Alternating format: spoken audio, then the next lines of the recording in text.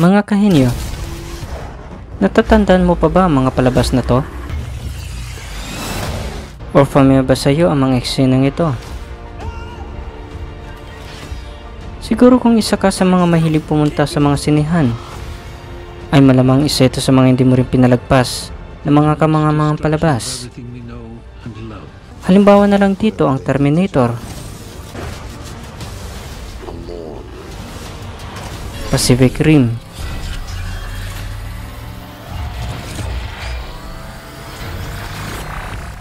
at Transformer. Pero, ang tanong, pwede ba kayang mangyari ito sa totoong buhay? Posible ba kayang mag-exist ito sa ating mundo? Posible din bang makagawa ang tao ng mga ganitong klaseng robot? Sa maniwala man kayo sa hindi, itong mga katanungan nito ay malapit na makatotoo. Sa katunayan nga, dahil sa modernong panahon na tayo, kaya malapit na tayo sa katotohanan na makagawa ng teknolohiya na katulad ng papanood natin sa telebisyon. Kaya, mga kahinyo, samahan niyo ako at sabay-sabay nating isa-isahin ang top 5 ng mga high-tech na mga robot sa kasalukuyang panahon. Number 5. Titan Robot Ito ay isang partially controlled mechanized robot na ginawa ng Cyberstein Robots, isang kumpanya sa Britanya. Ang pinakataas na bahagi ng katawan nito ay kontrolado ng isang operator. Siya ay nakapisto sa mataas na parte ng dibdib ng robot, na kung saan meron nakatakip na transparent glass sa mismong katawan nito upang makita ng operator ang mga nasa paligid niya. Kaya niyang magbigay ng iba't ibang klaseng action sa pamamagitan ng control panel na nasa loob nito. Ang bawat aksyon ng robot at pananalita ay nauna nang nakaprogram dito at ito ay automatic na na-activate depende sa kung anong binibigay na signal o data mula sa control panel nito. Ang Titan robot ay may kakayahan din i-identify ang bawat bagay-bagay sa kanyang paligid. At ito ay automatic na pinaprocess sa kanyang memory sa pamagitan ng AI o Artificial Intelligence na taglay nito. Hindi lang isang operator ang nakakontrol sa robot na to. Kung ang isang operator ay nasa loob mismo ng katawan ng robot, ang isang operator naman ay nasa labas lang at nakamonitor. Kaya niyang i-override ang pagkokontrol dito sa mga sandaling kinakailangan tulad ng di inaasahang pagkakataon upang maiwasan ang anumang klase ng aksidente. Number 4. Fedor Final Experimental Demonstration Object Research Isang klase ng robot na dinevelop ng Russian Foundation for Advanced Research Project. Ito ay may taglay na AI o Artificial Intelligence kung kaya kumikilos ito ng mag-isa na hindi kailangan kontrolin ng tao. Ito ay may kakayahan na magbuhat ng mabibigat na bagay. Mag-push up. Gumapang.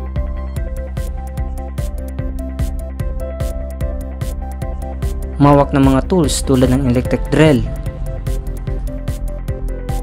at fire extinguisher mag-drive ng sasakyan at magpaputok ng baril.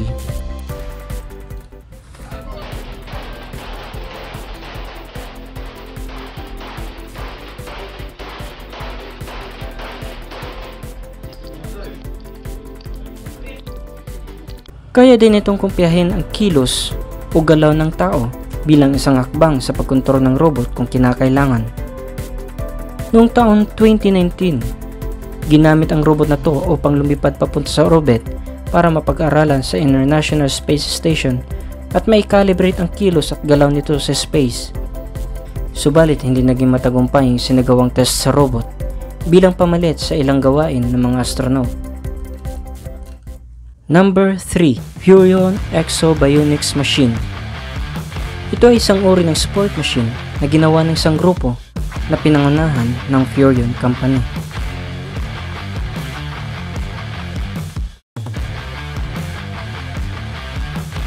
Binuo ang proyekto ito para gamitin sa sport ng racing. Akalain mo ito sa una na isa itong robot. Pero ang totoo, isa lamang itong uri ng makina na ina-operate ng tao para gumalaw. Subalit, may kahirapan ang pagpapagalaw nito, kaya kailangan na maingat at dahan-dahang paggalaw. Wasto at sapat na training. At profesional na piloto.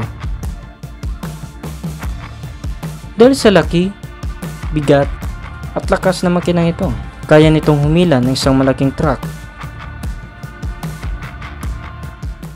Kung bibiyahe tayo ng isang daang taon mula ngayon,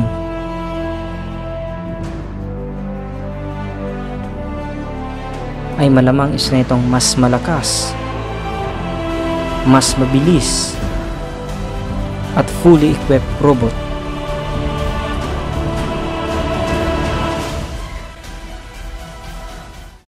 Number 2, Method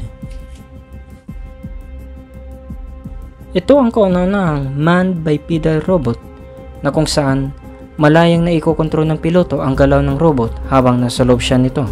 Ito ay ginawa ng Korea Future Technology. Halos 50 inhenyero ang nagtulong-tulong dito sa pagbuo ng robot na to. Sadyang ginawa ito para gamitin sa mga mapapanganib na trabaho na hindi kayang gawin ng tao lamang.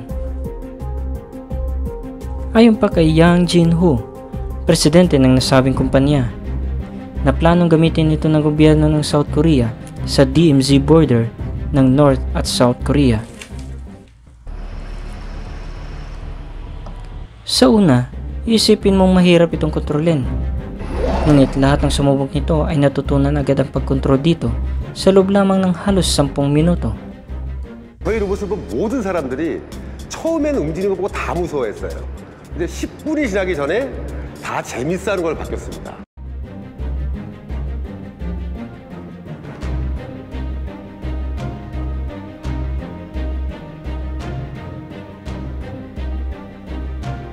Binubuo ito ng maraming motor para paandarin ang buong katawan nito.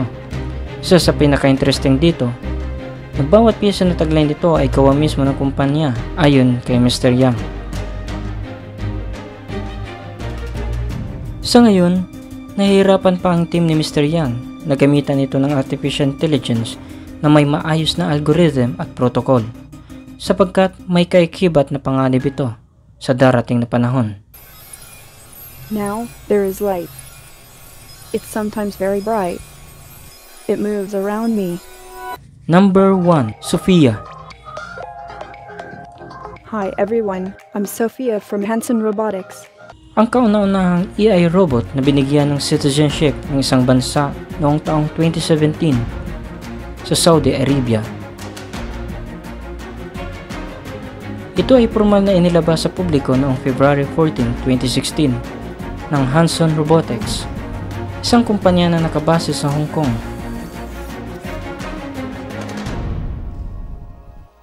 Good morning, Sophia. That is incorrect. Oh, it's not a good morning? Napakakomplikado ang pagkakagawa sa kanya. Ilang mga eksperto at inhenyero ang nagtulong-tulong upang gawin ang kaunanahang prototype nito. Gusto mo bang makinig ng kwento niya? Tara, samahan niyo ako at ating alamin.